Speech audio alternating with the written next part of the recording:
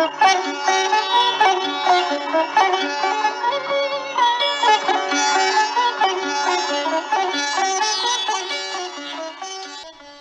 গল্প স্বল্প নিয়ে এসেছে পরশুরামের এক অনবদ্য সৃষ্টি চমৎকুমারী রাজশেখর বসুর বাকি সব গল্পের মতো এই গল্পটিও অত্যন্ত মজার। গল্পটি অবশ্যই আপনাদের মন ভালো করে দেবে।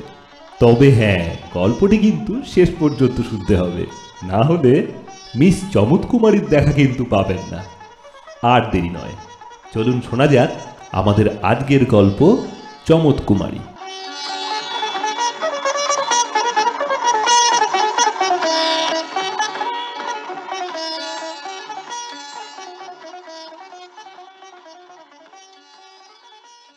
বক্রেশ্বর দাস সরকারি গুন্ডা দমন বিভাগের একজন বড় কর্মচারী। শীতের মাঝামাঝি এক মাসের ছুটি নিয়ে নববিবাহিতা পত্নী মনোলোভার সঙ্গে সাঁওতাল পরগনায় বেড়াতে এসেছেন। সঙ্গে বুড়ো চাকর বৈকুণ্ঠও আছে। এরা গণেশ মুন্ডায় লালকুঠি নামক একটা ছোট বাড়িতে উঠেছেন। জায়গাটি নির্জন, প্রাকৃতিক দৃশ্য মনোহর। বক্রেশ্বরের বয়স চল্লিশ পেরিয়েছে, মনোলোভার পঁচিশের নিচে। বক্রেশ্বর বোঝেন তিনি সুদর্শন নন।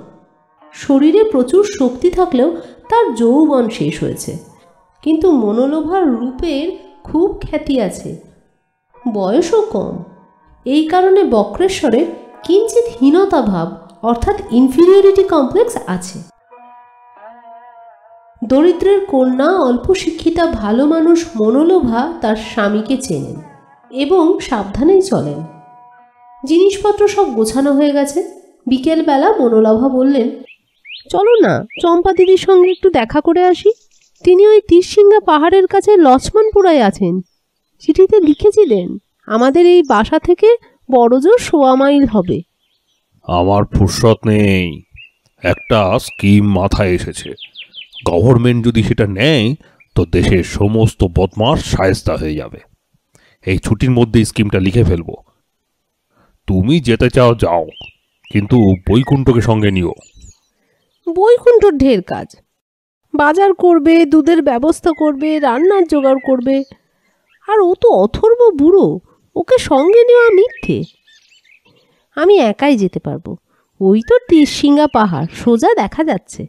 হুম, ঠিক আছে, কিন্তু ফিরতে দেরি করো না। সন্ধ্যের আগেই আসা চাই।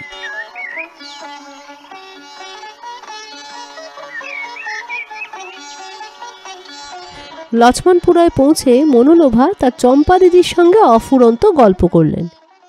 বেলা পড়ে এলে চম্পা দিদি ব্যস্ত হয়ে বললেন, যা যা, শিগগিরই যা, নয়তো অন্ধকার হয়ে যাবে। তোর বর ভেবে সারা হবে। আমাদের দুটো চাকুরি বেরিয়েছে, নইলে একটাকে তোর সঙ্গে দিতুম। কাল সকালে বরং আমরা সবাই মিলে তোর কাছে যাব। মনোলোভা তাড়াতাড়ি চলতে লাগলেন। মাঝপথে একটা সরু নদী পড়ে। তার খাত গভীর, কিন্তু এখন জল কম। মাঝে মাঝে বড় বড় পাথর আছে, তাতে পা ফেলে অনায়াসে পার হওয়া যায়। নদীর কাছাকাছি এসে মনোলোভা দেখতে পেলেন, বাঁ দিকে কিছু দূরে চার পাঁচটা মোষ চড়ছে। আর তার মধ্যে একটা প্রকাণ্ড সিঙ্গলা জানোয়ার কুটিল ভঙ্গিতে তার দিকে তাকাচ্ছে। মোষের রাখাল একটি ন দশ বছরের ছেলে। সে হাত নেড়ে চেঁচিয়ে কি বলল ঠিক বোঝা গেল না।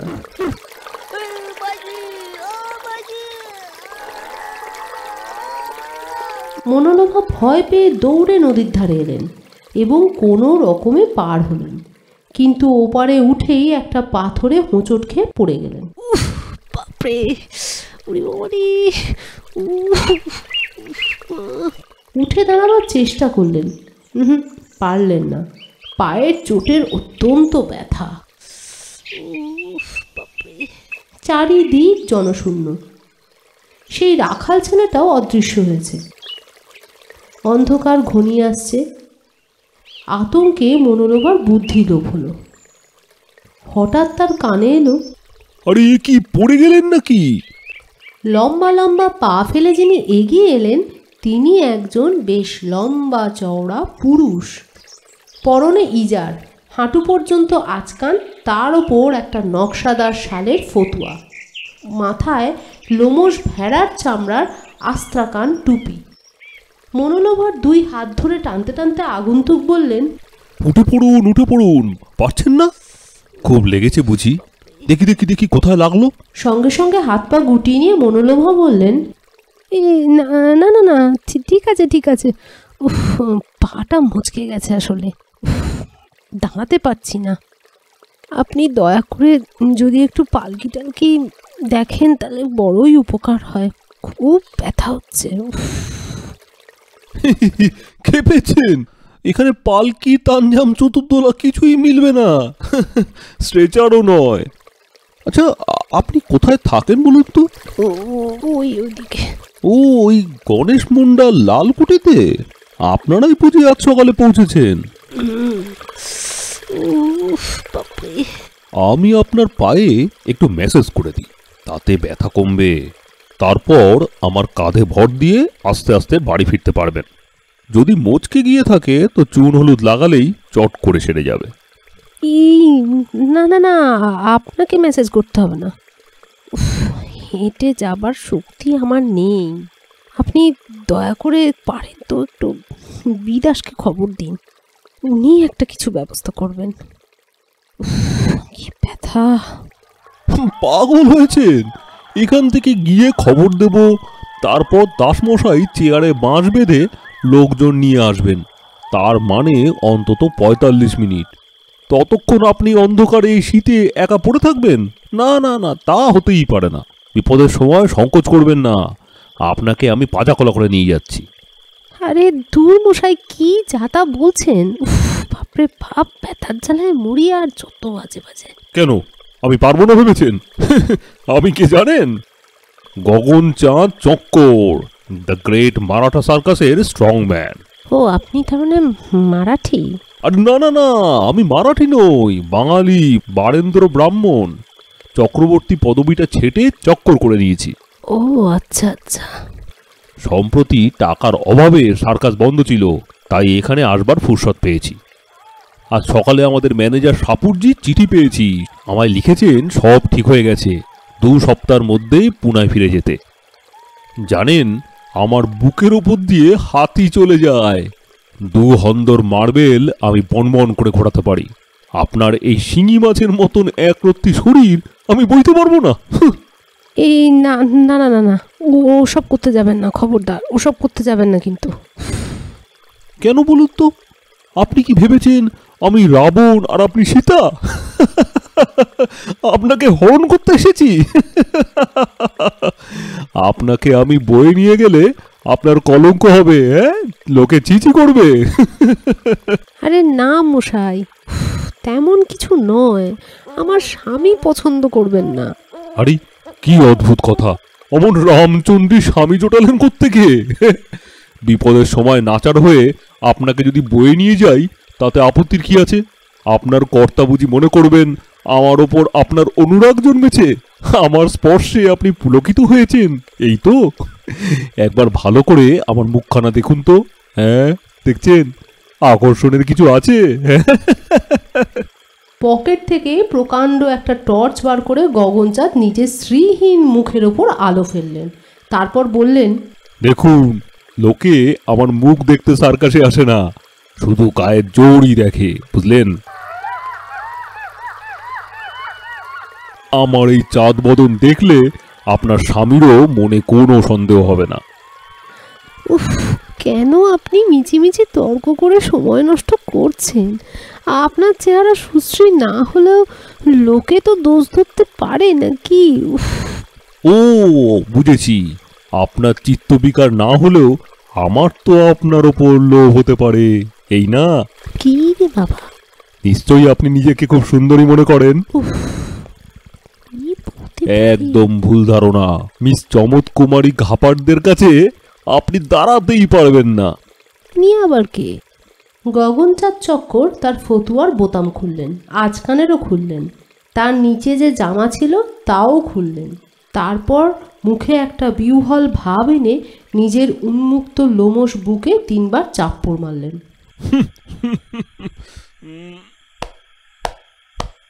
মনোলোভা শুধু প্রশ্ন করলেন, সে কি আপনার প্রণয়িনী নাকি?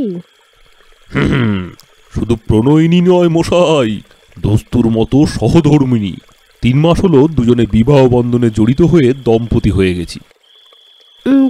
তবে মিস চমৎ কুমারী বললেন কেন? এখন তো তিনি শ্রীমতী চক্কর। আহা আপনি তো কিছুই বোঝেন না দেখি। মিস চমৎকুমারী ঘাপার্দে হলো তার স্টেজ নেম।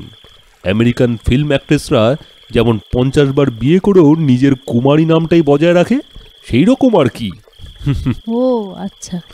চমৎকুমারী হচ্ছেন গ্রেট মারাঠা সার্কাসের লিডিং লেডি বলবতী ললনা।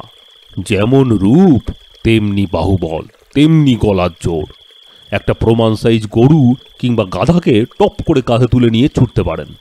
আবার ছুটন্ত ঘোড়ার পিঠে এক পায়ে দাঁড়িয়ে একটা হাত কানে চেপে অন্য হাতে তাম্বুরা নিয়ে ধ্রুপদ খেয়ে অলগাইতে পারেন। মহারাষ্ট্রী মহিলা কিন্তু অনেক কাল কলকাতায় ছিলেন চমৎকার বাংলা বলেন বুঝেছেন? বুঝলাম বুঝলাম। আপনার স্বামীর সঙ্গে তার মোলাকাত করিয়ে দেব। চমৎকুমারীকে দেখলেই তিনি বুঝতে পারবেন যে আমার হৃদয় শক্ত খুঁটিতে বাঁধা। তার আর নরণ চরণ নেই। হুম বুঝেছি বুঝেছি। আপনি আর দেরি করবেন না খুব ব্যথা। একটু একটু দয়া করে মিস্টার দাসকে খবর দিন না। কি কথাই বললেন? আমি চলে যাই আর আপনি একলা পড়ে থাকুন। আর বাঘ কি হুড়ায় কি লক করে এসে আপনাকে ভক্ষণ করুক হ্যাঁ? শুনতে পাচ্ছেন? ওই শেয়াল ডাকছে আপনার হিতাহিত জ্ঞান এখন লোপ পেয়েছে কোনো আপত্তি আমি শুনব না। শুনুন না আ- আপনি দয়া করে একটু চুপ আর একটি কথাও নয়। নিমেষের মধ্যে মনোলোভাকে পাঁজা কোলা করে তুলে নিয়ে গগন চাঁদ সবেগে চললেন। এই না না, না, কি করছেন কি করছেন? ছাড়ুন ছাড়ুন আরে। মনোলোভা ছটফট করতে লাগলেন। গগনচাঁদ বললেন খবরদার খবরদার হাত পা ছুড়বেন না।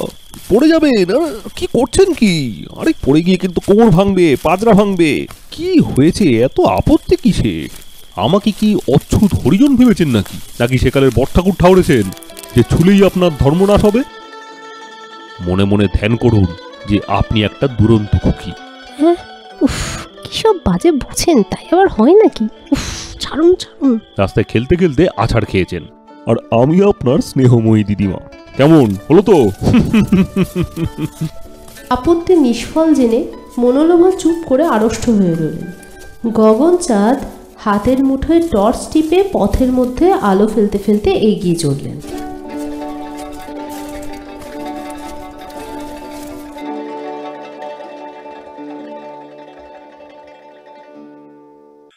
বক্রেশ্বর দাস দুজনকে দেখে আশ্চর্য হয়ে বললেন হ্যাঁ এ কি ব্যাপার? আরে আরে আরে যাচ্ছেন কোথায় মশাই? এ কি হলো কি বলবেন তো কিছু?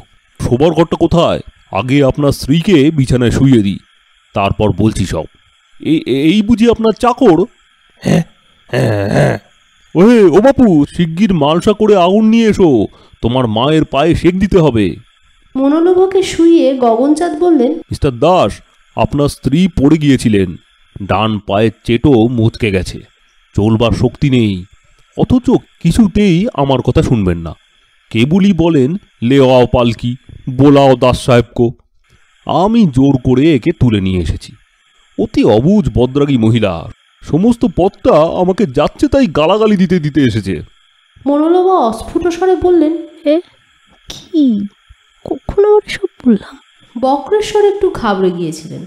এখন গরম হয়ে বললেন তুমি লোকটা কে হে? হ্যাঁ ভদ্রনারীর উপর জুলুম করো এত বড় আস্পর্ধা জানো আমি কে? অবাক করলেন মশাই। কোথায় একটু চা খেতে বলবেন? অন্তত কিঞ্চিত থ্যাঙ্কস দেবেন তা নয় শুধুই ধমক। ও আরে ও কেন তুমি ওর গায়ে হাত দিতে গেলে? আরে মশাই ওকে যদি নিয়ে না আসতুম তাহলে এতক্ষণে বাঘের পেটে হজম হয়ে যেতেন। আপনাকে যে আবার একটা গিন্নির জোগাড় করতে হতো। চুপ রাও বদমাস কোথাকার। জানো জানো আমি কে? হুম? আমি হলাম বক্রেশ্বর দাস আইএএস গুন্ডা কন্ট্রোল অফিসার। এক্ষুনি এক্ষুনি আমি তোমাকে জেলে দিতে পারি তুমি তা জানো। তা করবেন বই কি? স্ত্রী যন্ত্রণায় ছটফট করছে সেদিকে হুশ নেই শুধু আমার ওপর তম্বি। আরে হ্যাঁ মুখ সামলে কথা বলবেন মশাই। নইলে নইলে আমিও কিন্তু রেগে উঠব। এখন চললুম। নির্মল মুখোজ্জে ডাক্তারকে পাঠিয়ে দিচ্ছি। বক্রেশ্বর তেরে এসে গগনচাঁদের পিঠে হাত দিয়ে ঠেলতে ঠেলতে বললেন নিকলো নিকলো আমি। গগনচাঁদ বেগে চলতে লাগলেন। বক্রেশ্বর পিছু পিছু গেলেন। কিছু দূর গিয়ে গগনচাঁদ বললেন ও লড়তে চান? আপনার স্ত্রী একটু সুস্থ হয়ে উঠুন তারপর লড়বেন। যদি সবুর করতে না পারেন তো কাল সকালে আসতে পারি। কাল কেন কাল কেন? আমি আমি এখনই তোকে সাহায্য করে দিচ্ছি। জানিস আমি একজন মিডিল ওয়েট চ্যাম্পিয়ন হুম এই নে। ইয়া। গগনচাঁদ ক্ষিপ্র গতিতে সরে গিয়ে ঘুষি থেকে আত্মরক্ষা করলেন এবং বক্রেশ্বরের পায়ের গুলিতে ছোট একটা লাথি মারলেন। এই নে এটা সামলা। সঙ্গে সঙ্গে বক্রেশ্বর ধরাশায়ী হলেন। গগনচাঁদ বললেন কি হলো দাসমশাই? উঠতে পারছেন না? পা মুচকে গেছে বুঝি? বেশ যাও কর্তা গিন্নির এক হাল। ভাববেন না আপনাকে তুলে নিয়ে গিন্নির পাশে শুয়ে দিচ্ছি। তারপর ডাক্তার এসে চিকিৎসার ব্যবস্থা করবে। out, get out, ইয়াসে ও আমার কোলে উঠবেন না? আচ্ছা চললুম আর কাউকে পাঠিয়ে দিচ্ছি। বক্রেশ্বর বেশ শক্তিমান পুরুষ। ভাবতেই পারেননি যে ওই বদমাস গুন্ডাটা তার প্রচণ্ড ঘুষি এড়িয়ে তাকেই কাবু করে দেবে। শুধু ডান পায়ের চেটো মচকায়নি তার কাঁধও একটু থেতলে গেছে। তিনি ক্ষীণ কণ্ঠে ডাকতে লাগলেন বৈকুণ্ঠ বৈকুণ্ঠ এ বেটা বৈকুণ্ঠ। ও প্রায় পনেরো মিনিট বক্রেশ্বর অসহায় হয়ে পড়ে রইলেন। তারপর নারী কণ্ঠ কানে এলো। উমা এ কি? কি হয়েছে আপনার? বক্রেশ্বর দেখলেন কাছা দেওয়া লাল শাড়ি পরা মহিষমর্দিনী তুল্য এক বিরাট মহিলা টর্চ হাতে দাঁড়িয়ে আছেন। বক্রেশ্বর বললেন উহ বড্ড লেগেছে উঠবার শক্তি নেই। আপনি আপনি কে? চিনবেন নেই। আমি হচ্ছি চমৎ কুমারী ঘাপারদে গ্রেট মারাঠা সার্কাসের বলবতী ললনা। আপনি যদি একটু দয়া করে ওই ওই লাল কুটিতে গিয়ে আমার চাকর বৈকুণ্ঠকে একটু পাঠিয়ে দেন তো খুব সুবিধা হয়। আপনার চাকর তো রোগা পটকা বুড়ো আপনার এই দুমণির লাশ সে বইতে পারবে কেন? ভাববেন না আমি আপনাকে পাজা কোলে তুলে নিচ্ছি। হ্যাঁ সে- কি আপনি? কেন? তাতে দোষ কি? বিপদের সময় সবই করতে হয়। ভাবছেন আমি অবলা নারী? পারব না। জানেন আমি একটা পুরুষটু গাধাকে কাঁধে তুলে নিয়ে দৌড়াতে পারি? কিংকর্তব্য বিমূঢ় হয়ে বক্রেশ্বর ফ্যাল ফ্যাল করে তাকিয়ে রইলেন। চমৎকুমারী খপ করে তাকে তুলে নিয়ে বললেন ও কি? অমন কুঁকড়ে গেলেন কেন? লজ্জা কিসের? মনে করুন আমি আপনার মেসমশাই। হ্যাঁ? আপনি একটা পাজি ছোট ছেলে। আপনার চাইতেও পাজি আর একটা ছেলে লাথি মেরে আপনাকে ফেলে দিয়েছে। মেসমশাই দেখতে পেয়ে কোলে তুলে বাড়ি নিয়ে যাচ্ছেন। চমৎকুমারী তার বোঝা নিয়ে হনহন করে হেঁটে তিন মিনিটের মধ্যে লালকুঠিতে পৌঁছলেন এবং বিছানায় মনোলোভার পাশে ধপাস করে ফেলে বক্রেশ্বরকে শুইয়ে দিলেন। ও বাবারে কি ব্যথা। জানো মনু আমি না ও হোঁচট পড়ে গিয়েছিলুম। ইনি আমাকে বাঁচিয়েছেন। ইনি ইনি হলেন দ্য গ্রেট মারাঠা সার্কাসের চমৎ কুমারী খাপারতে স্ট্রং লেডি। মনোলোভা অবাক হয়ে দু হাত তুলে নমস্কার করলেন। নির্মল ডাক্তার তার কম্পাউন্ডারকে নিয়ে এসে পড়লেন। স্বামী স্ত্রীকে পরীক্ষা করে ডাক্তার বললেন ও কিছু হয়নি কিছু নয়। দুজনের পায়ে একটু স্প্রেন হয়েছে। একটা লোশন দিচ্ছি তাতেই সেরে যাবে। তিন চার দিন একদম চলাফেরা করবেন না। মাঝে মাঝে নুনের পুটলি দিয়ে শেক দেবেন বুঝেছেন? মিস্টার দাসের কাঁধে একটা ওষুধ লাগিয়ে ড্রেস করে দিচ্ছি ঠিক আছে? যথা কর্তব্য করে ডাক্তার আর কম্পাউন্ডার চলে গেলেন। চমৎকুমারী বললেন আপনাদের চাকর একা সামলাতে পারবে না আমি আপনাদের খাবার দাবারের ব্যবস্থা করব তারপরে যাব। বক্রেশ্বর করজোরে বললেন আপনি করুণাময়ী যে উপকার করলেন জীবনেও ভুলব না। মনোলোভা মনে মনে বললেন তা ভুলবে কেন? ওই গোদা হাতের জাপটা নিজে প্রাণে সুশ্রুরি দিয়েছে। যত দোষ বেচারা গগন চাঁদের? ডাক্তারবাবুর কাছে শুনলাম আপনার স্বামী মিস্টার চক্করও এখানেই আছেন। কাল বিকেলে আপনারা দুজনে এখানে যদি চা খান তো কৃতার্থ হব। আমার এক শালি কাছেই থাকেন। কালকে তাকে আনব। তিনিই সব ব্যবস্থা করবেন। আমার তো চলবার শক্তি নেই। না হলে আমি নিজে গিয়ে আপনাদের নেমন্তন্ন করতুম। কাল তো আমরা তিন দিনের জন্য রাঁচি যাচ্ছি মশাই। শনিবার ফিরব। রবিবার বিকেলে আমাদের বাসায় একটা সামান্য টি পার্টির ব্যবস্থা করেছি। চক্করের বন্ধু হোম মিনিস্টার শ্রী মহাবীর প্রসাদ দুমকার ম্যাজিস্ট্রেট খাস্তগির সাহেব গিরিডির মার্চেন্ট সর্দার গুরমুখ সিং এরা সবাই আসবেন। আপনারা দুজনে দয়া করে এলে খুব খুশি হব। কোনো কষ্ট হবে না একটা গাড়ি পাঠিয়ে দেব। আসবেন তো? নিশ্চয়ই নিশ্চয়ই। সেই শুনে মনোলোভা মনে মনে বললেন হেমা কালী রক্ষা করো রক্ষা করো।